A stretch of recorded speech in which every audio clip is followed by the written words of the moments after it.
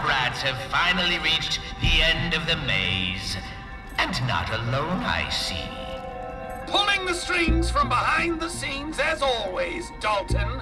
You gutless coward!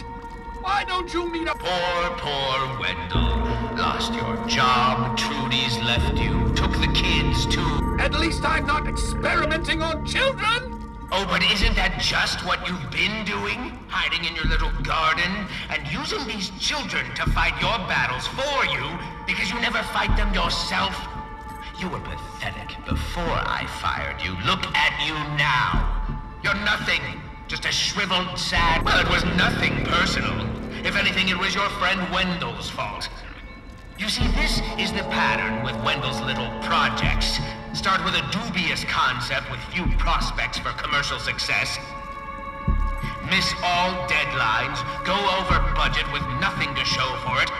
So the rest of Ominent must make up for his failures.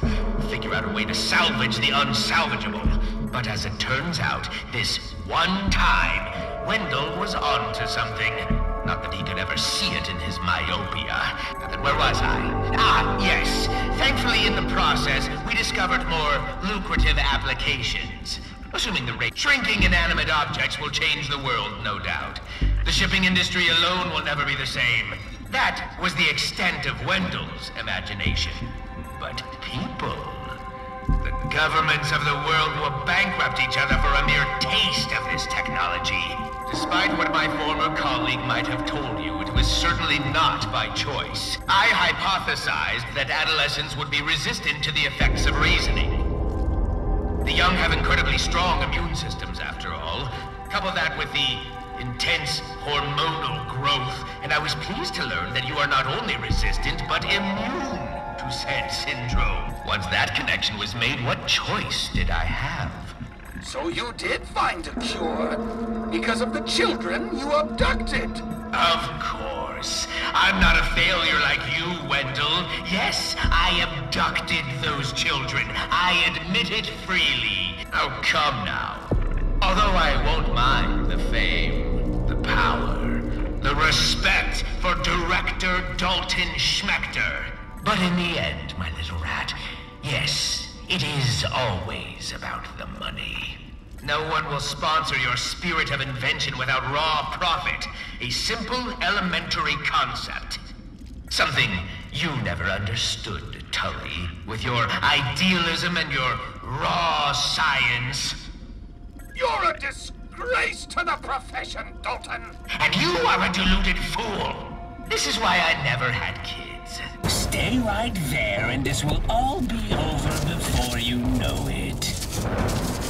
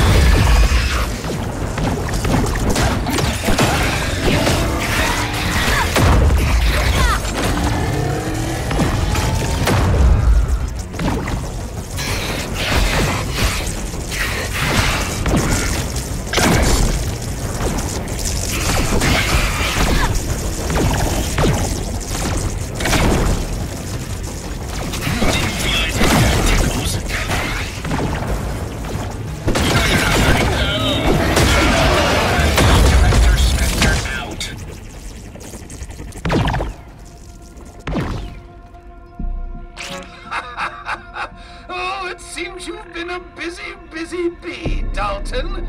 But now I'll know everything about what you've been up to. Who knows what secrets Ominent is hiding?